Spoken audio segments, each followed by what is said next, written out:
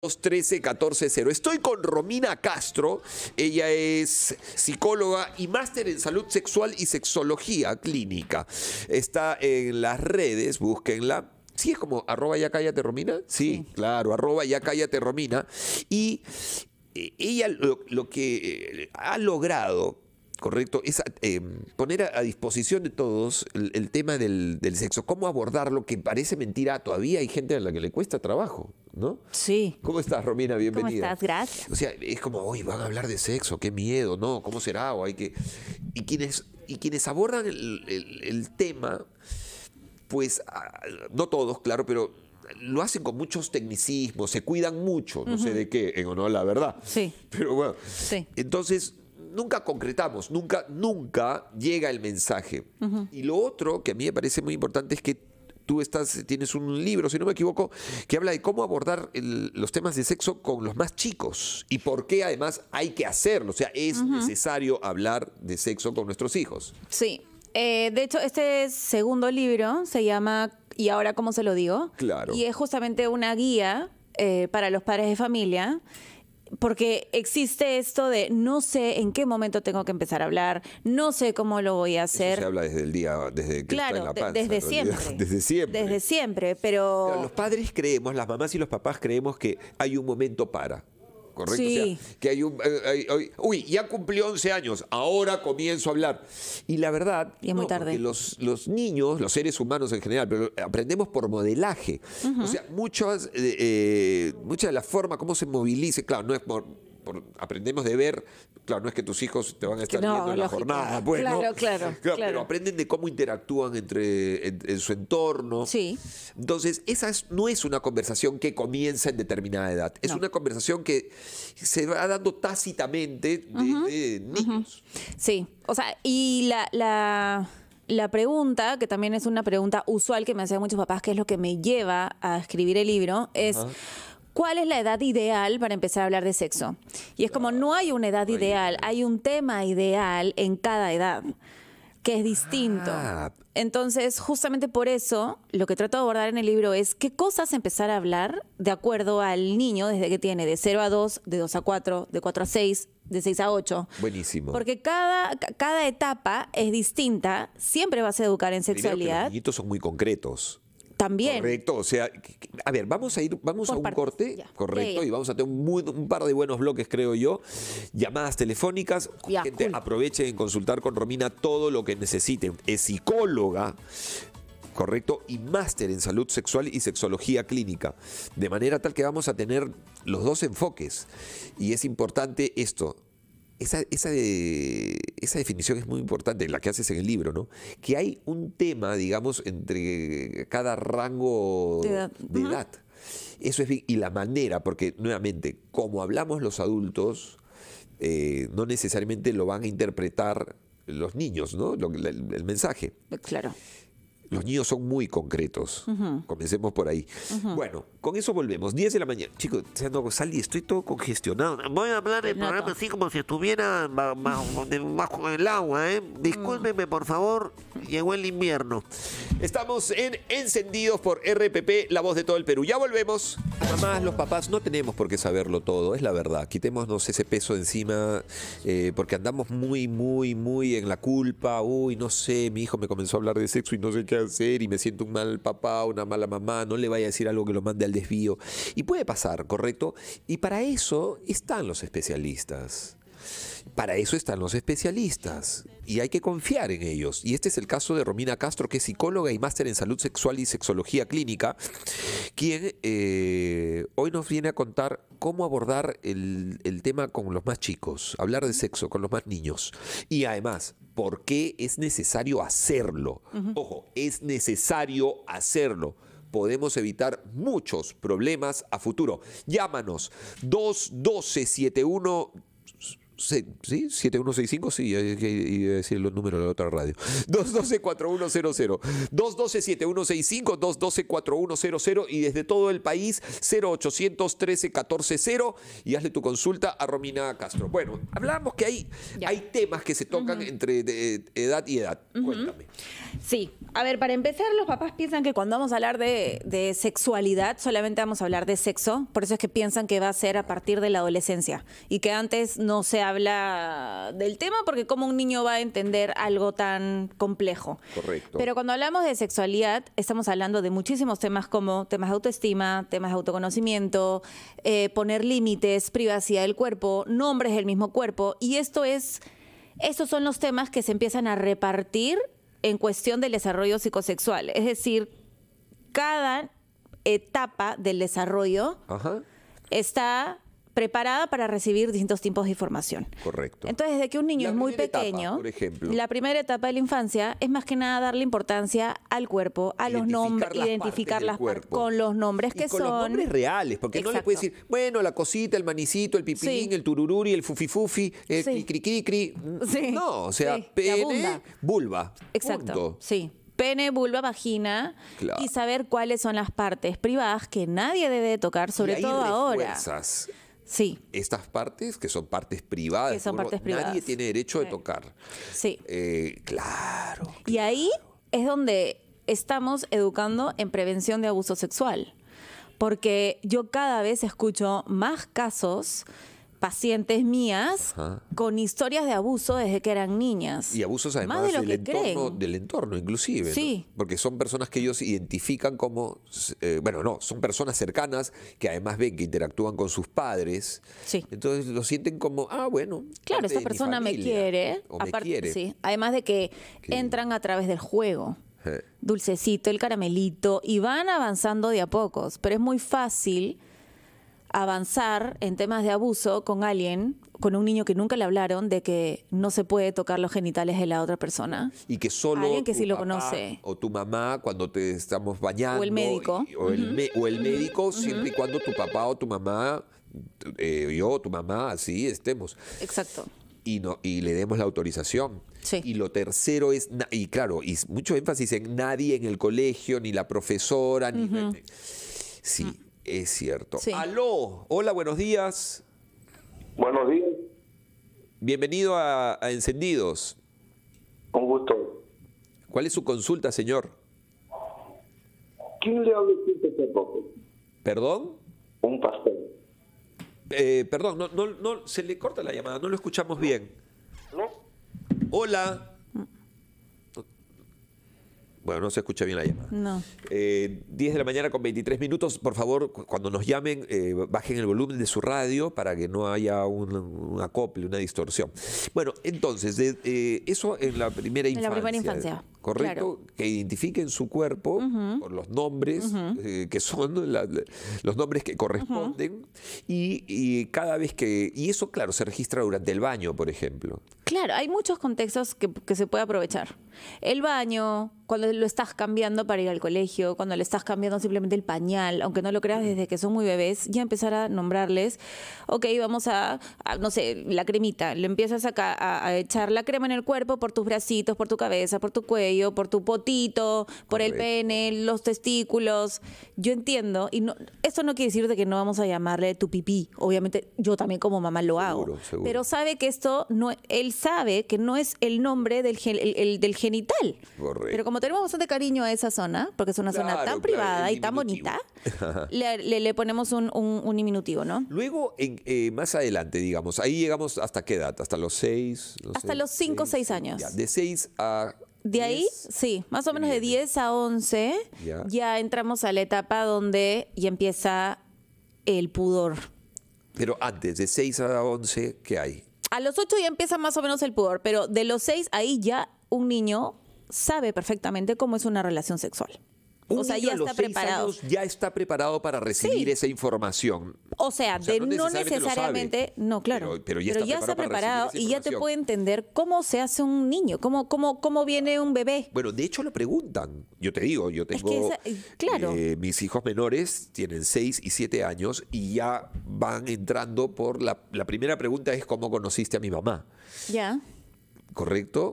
Bueno, este pobrecito, mis hijitos, en mi caso es cómo conociste a mi mamá, cómo si conociste a la mamá de mi hermana mayor, como no, claro, tanto divorcio que tan, tan- tan así como conociste a todos. Pero bueno, ya mis hijos comienzan a evitar esas preguntas. Sí. Y luego de ahí se desprende el cómo vine yo, cómo Sí, se hacen los niños. sí. O sea, es, esa pregunta es tal cual. Es tal cual. Y si te das cuenta, la primera pregunta antes de cómo se hacen es cómo vienen los niños al Sí, mundo. ¿Cómo vienen? Primero, la primera curiosidad ¿De dónde es de y dónde cómo vienen, y cómo vienen. Y una vez que entienden y, y es explicarles con completa naturalidad que vienen, ¿Cómo- a ver, ¿cómo es ese diálogo? Mamá, mamá, ¿cómo, vienen? vienen los niños? ¿Tú qué me dices? digo, bueno, la mamá está preparada para eso y viene a través de la vagina. Sale No, por sale la de vagina. la, de la sí. panza, porque te dicen, sale de la barriga. Ya. Eso es lo que te van a decir. Claro, o sea, tú ves que está en la barriga, pero donde está el bebé se llama útero. Y ojo, hay algo bien interesante aquí. Los niños, a esa edad además, no necesitan tanta explicación. No. O sea, nosotros queremos mandarle el megacuadro, Ah, sino la exacto. explicación preuniversitaria. Bueno, la Sí. verdad, entonces tenemos relaciones sexuales, primero hacer... No, no, no, no, no, no. Es muy concreto. Es muy concreto. Es muy concreto. Literal. Y no van a repre- Y lo otro es que somos nosotros los que tenemos que estar en escucha activa con nuestros hijos. Es decir, no respondas más de lo que te preguntan. ¿Correcto? Eh, porque por lo general, claro, y de ahí queremos sol- soltarles el, espa- el espasacalpe de la sexualidad, ¿no? Sí, y te fuiste- Eh, la enciclopedia Salvat y te fuiste en Sí, banda. sí, sí, sí, sí. Porque no, no, no, nece- no, no la van a procesar esa Sí, información además. Entonces, respóndele lo que te pregunten. Lo que te es probable que no haya una repregunta. ¿Cierto? Sí. A ver, y cuando te hacen una pregunta, para no caer en eso de no saber hasta dónde voy a explayarme en mi respuesta, es primero como papá o como mamá repreguntar, ¿qué crees tú que es? ¿O cómo crees tú que vienen? Para, y ahí también empiezas a ver qué está viendo, qué está consumiendo, quién le está diciendo información, de dónde, oye, viene esa información. Ah, qué bueno eso. Preguntarle. Primero le repreguntas. Le repregunt- repreguntarle Sí. de dónde viene o por qué quieres saber. ¿Qué crees quién- tú? quién de, ¿de dónde sabes tú? Claro. ¿Qué, Sí. piensa- ¿qué piensas tú? Sí. Y hay muchas veces en las que, por ejemplo, ¿no? O sea, no ¿Qué sé, tú? Ah, creo bueno. que había hasta un meme que era, ¿qué es, qué es este after? ¿Qué es el after? Uy, el papá se mandó con la explicación del, de- hasta, de, hasta de drogas le habló. A un niño de 8 años. Me hasta de muero, drogas le habló. Me muero. Cuando en verdad después le pregunta, ah, es que estamos aprendiendo el after y el before. Me Es muero. que sí, y se mandó con toda la explicación y era Dicho como... sea de paso, para quienes no. lo sepan, el after es una, eh, es una palabrita que, que tiene que ver con el de- en inglés, ¿no? Después. inglés, que Se usa mucho en el argot de, de la fiesta. ¿Ok? De- hoy por hoy la usan mucho la, la- la gente joven en, en el argot de la fiesta, del entretenimiento. Entonces, te vas a una fiesta, te vas a una discoteca y de ahí dices, ¿y dónde es el after? O sea, ¿dónde la continuamos? ¿Correcto? Entonces, claro, lo que cuenta Romina es que este niñito le preguntó, ¿qué es el after? Y el papá le dijo, bueno, el after es cuando sales de la discoteca y la continúas. Hay gente que se droga y barbaridad y media. Y el niñito dijo, no, yo estoy estudiando inglés before and after. Sí. Ya volvemos, 10 de la mañana con 29 minutos aquí en Encendidos por RPP, la voz de todo el Perú. Psicóloga y máster en salud sexual y sexología clínica y hoy nos está eh, orientando, nos está enseñando a cómo, cómo cuando nuestros hijos, los niñitos, nos presentan sus inquietudes, ¿no? Típicas, clásicas, cómo abordarlas. Hay una manera de hablarle a los niños entre los 0 y los 4 años, entre los 4 y los 8 y los 8 en adelante, ¿correcto? Y esta es una conversación, la conversación de sexo comienza desde los 0. ¿Correcto? Sí. Que es lo que hablábamos más o menos. Llámanos 212-7165, 212-4100. Bueno, aló, ah, tenemos llamadas en el acto. Hola, buenos días. Hola, ¿Cómo estás? Bienvenida. Te habla Esperanza de Tumbe, soy Hola. profesora de jardín. Ah, qué bueno. Y como dice la psicóloga, yo le enseño a los niños lo que es conocimiento de los nombres de su cuerpo, ¿no? Efectivamente, que es vulva, pene, ¿no? Y, y después cómo concibe la madre a su hijo, ¿no? Se enamoran, se casan. y tienen hijos. Hasta ahí en educación inicial. Aún así, en el niño hay un poco de morbo, se sonríen, ¿qué hace así, ¿no? Bueno, la profesora siempre tiene que estar con conocimiento seria, ¿no? Dándole conocimiento sin ningún tipo de morbo, a pesar que hay niños. Ahí yo me detendría un segundito, morbo ¿sabes? Yo me detendría un seguro En segundito. el contorno de sus casas. Bueno, pero yo incido en que la información debe ser a partir de los 12, 13 años. 13, 12 años es donde la información se le debe dar clara. ¿Cómo que se concibe un hijo de la relación sexual? Porque yo veo muchas niñas de 13, 14 que salen embarazadas, o sea, Claro. se entregan así de fácil. Y después vienen las consecuencias, salen embarazadas y se sienten como inocentes, siguen siendo inocentes. Por eso es que la información debe ser clara desde la casa, en el colegio. Yo creo que hasta el segundo grado, primer grado, el niño, nosotros en el cuerpo tenemos la sensualidad, la sensibilidad, la tenemos. Y eso no lo tenemos que ignorar. Por eso yo pienso que el padre debe ser clara en darle la información cómo se consigue un hijo. Totalmente. Igual en el colegio, clarísimo y con más conocimientos y más información. Porque no debería un niño tener relaciones a esa edad, debería tener un control emocional. Totalmente de Cuando tiene el conocimiento, tiene el control emocional. Totalmente de acuerdo. Bien. Esperanza, muchísimas gracias por tu llamada. Totalmente de acuerdo con- contigo, obviamente.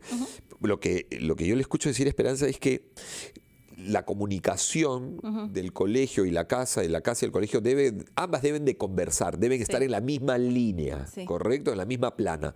Sin embargo, hay algo que me hizo un poquito de ruido, Esperanza, y a lo mejor nos puede ayudar Romina, ¿correcto? Eh, tú mencionaste al inicio que eh, los, ni- que los niños, ojo, no adolescentes, sino los niños, cuando tocaban estos temas, ella eh, nota que los niños se ríen. Y claro, usó la palabra morbo. No sé si un niño de 4, 5, 6, 7, 8 años habite el morbo todavía. Creo que es más un, un tema de definición que. ¿Correcto? Sí, qué bueno que lo, que lo, que lo aclares, porque sí, los niños no tienen la parte erótica desarrollada. Claro. Entonces el morbo, el morbo no, No existe, no no- existe no- no en lo los niños. todavía. Exacto. Y, y eso es lo que tú dices de que un, ella está pensando como adulta, en que claro, ve este comportamiento de los niños que es la picardía de la edad, la exploración, el descubrir algo nuevo, el descubrir algo que sí, obviamente va a generar mucha curiosidad porque es parte de. Y además se habla de algo que le estamos diciendo que es suyo, que no se expone públicamente, Claro. no salen galatos a la calle. Exacto. Es algo que es- lo, lo identifican eh, medianamente de cuidado y hasta blindado. Sí. ¿no? Entonces se pone el tema, y, y- pero no es morbo. No es morbo. lo que genera. el- No es morbo. No es morbo. Eso sí No me es morbo. importante. Sí, siempre desde que viene y, y hablando de esto, o sea, en los niños vamos a ver mucha curiosidad. Y hay muchos adultos que se preocupan por esto porque piensan que viene de un lado erótico. ¿Qué es lo que no hay que decirle a un niño? ¿Dónde fallamos los papás, las mamás? hay, No decirle. Bueno, hay varias, pero digamos, en ah, varias cosas. ¿Qué no decirles? Prohibirles, por ejemplo, el tema cuando se están tocando. Ok. Porque lo están haciendo entender como adulto que es un proceso de conocimiento, tanto emocional como física. Claro. Entonces, darle su espacio sí y aprovechar esos espacios también para hablar de que, ok, esto es tuyo, esto es privado, ok, se siente bien, se siente rico, sí, pero también darles esa privacidad. Y aprovechar también es en, en alimentar el tema de nadie te puede tocar tu cuerpo, consentimiento, siempre, eso siempre. respetar límites. ¿Qué más no debemos hacer los papás? Es mentir, dar falsa información acerca de ejemplo. cómo vienen los niños. Ah, Por ejemplo, yo una vez tuve una, una charla con los papás de un colegio y uno de ellos me dice, ¿qué es lo que le tengo que decir a mis hijos de cómo vienen los niños al mundo sin tener que decirle la verdad? Como, no ¿Cómo hay otra... Es lo que le tengo que decir. Es lo que le decirle- tiene que decir, verdad. realmente cómo se hacen los Lo que hijos. pasa es que nuevamente ahí entra la interpretación del adulto. Sí, ¿correcto? en todo momento. O sea, que, que cree que, bueno, la verdad, eh, eh, no le tienes que hablar de una relación, ni siquiera de una penetración. No. Ni siquiera. Y es ahí donde, y en el libro también te lo explica, tú hasta le puedes explicar al niño y adolescente cómo vienen los, cómo se hacen los niños por partes. Cuando uno es cinco, tiene 5 o 6 años, puede entender desde el hecho de que papá tiene unos pececitos que se juntan con unos huevitos que tiene mamá y así se forma el bebé. Hasta la manera de graficarlo, porque Y por lo general usamos la niños. semilla. Exacto. Pero en realidad tendríamos. Qué buen, qué buen dato que nos está dando Romina, gente, escuchemos. Porque por lo general tenemos el recurso de la semillita, ¿no? Yo dejo la semillita y tu mamá tiene una canastita. Claro. Sin Claro, embargo, pero no más es semilla. certero, más cercano a la realidad, in- inclusive en cuanto a formas que los niños van a imaginar, tiene que ver con pececitos, espermatozoide más o menos pues, podría ser un pececito, Sí. y la mamá tiene Huevitos. Huevitos. Sí. Un huevito, un huevito. Para esa edad es lo Y que el tiene que saber. llega a dejar sus huevitos Claro. ahí, o se queda ya- a vivir en el huevito. Claro, y ya después va a decir, ah, ok, con eso se van a quedar tranquilos. Si te preguntan más, dale más información. Entonces después vas a preguntar, ya, pero ¿cómo ese pececito se junta con el huevito? Ok, ese pececito que se llama espermatozoide, Pero claro, es un nombre muy complejo para esa edad. Si no se acuerdan, no importa, más se les va a quedar el pececito, pero igual se lo dijiste, se llama espermatozoide. Y los huevitos es el óvulo de la mamá. El, el- el pececito sale del pene del papá y los huevitos están dentro del cuerpo de la mamá y es así como se juntan. Ya, pero ¿cómo? Y cada vez vas entrando más a detalle. Y ya más o menos a los 9, 10 años están en una edad perfecta para saber que papá ingresa su pene en la vagina de la mamá y es ahí como deposita el pececito que se va a juntar con ese Y óvulo. en la adolescencia. ¿cómo es la conversación? Porque en la adolescencia creo yo que los- la- las madres, los padres, nos enfocamos más hacia el embarazo no deseado, Sí. ¿correcto? O sea, la, la orientamos desde el miedo. Sí. Entonces, inculcamos un miedo a, a la sexualidad, un miedo al sexo, claro, pero es, es- es muy delgada la línea, porque tampoco va de, bueno, vamos, vamos a alentar a los chicos. No, por va de- supuesto. No, no ¿cuál va. es el equilibrio ahí? Pero es, es hablar de una relación sexual siempre basada en el respeto, basada en el amor, El consentimiento. basada en el consentimiento, siempre empezando desde ahí. Y que sí, si tú vas a entrar en este mundo de las relaciones sexuales, que es un mundo bastante placentero y que debería ser bastante placentero para ambos, Seguro, para ambos. tienes que tener el conocimiento de que no todos los métodos anticonceptivos son 100% eficaces. Eh, claro. O sea, puede ser el 99.9, pero de repente tú fuiste el 0.0001 Correcto. que salió embarazada. Entonces, a eso se refieren con que no existe una edad tampoco para iniciar la actividad sexual, pero sí un momento en tu vida en el cual tú sientas que tienes la madurez suficiente para poder afrontar esos mínimos riesgos que puede tener también el sexo. A mí una vez una sobrina, eh, mayor, obviamente, de, de 16, 17 años, me, me- claro, conmigo tenía más cercanía, soy el- en, en la familia el tío, digamos, más relajado. Claro. Y obvio, soy el tío. Las preguntas que no se las va a hacer a su papá, me las va a hacer a mí, porque tenemos ese nivel de confianza. Y me dijo, tío, ¿tú me puedes una pregunta? Sí, claro. Uy, dije, uy, ¿con qué se vendrá? me dice, eh, ¿qué, ¿qué es lo normal? ¿Qué no es normal en el sexo? ¿Qué no es normal en el sexo?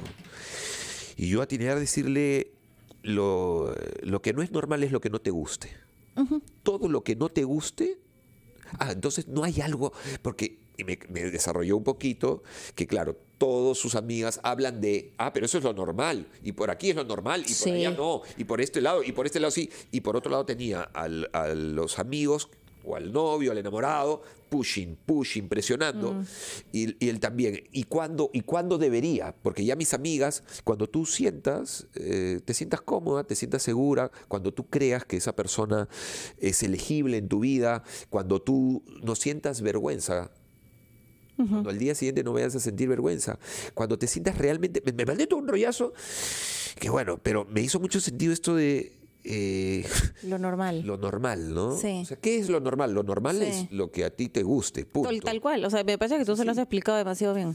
Bueno, por ahí Porque va. sí, Sí. es con lo que tú te sientas cómoda eh, y, con, y, lo- y con lo que vaya también de acuerdo a, a tu crianza, a tus valores. No hay una edad para iniciar. Y esto pasa mucho. Mis amigas lo están haciendo, mis amigas lo están haciendo, entonces Sí, eso pasa yo mucho. también. Pero No, es que no, no, no. solamente es... Está bien el hecho de que tú sientas que te estás preparada, pero al- al- además de cómo tú sientas es también qué tanta información tienes al respecto. Arroba ya cállate Romina en Instagram. Síganla. Arroba ya cállate Romina. Romina Castro, psicóloga y máster en salud sexual y sexología clínica. Gracias, Romina. Ay, a ti.